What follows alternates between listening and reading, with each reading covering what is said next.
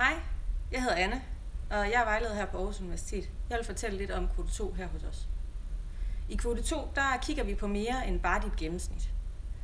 På Aarhus Universitet er der mange forskellige måder, vi vurderer ansøgningerne på i kvote 2. På nogle uddannelser, så er der optagelsesprøver. På andre, der kigger vi på karaktergennemsnittet af nogle bestemte fag, sammen med særlige og relevante kvalifikationer.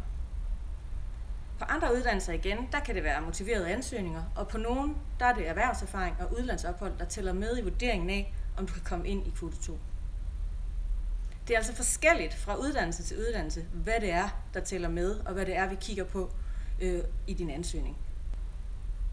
For at finde ud af, hvad det er, der tæller med i kvote 2, så skal du gå ind på bachelor.u.dk og finde den uddannelse, du er interesseret i.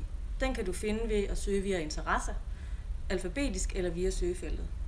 Når du klikkede ind på uddannelsen, så skal du gå ned under punktet adgangskrav.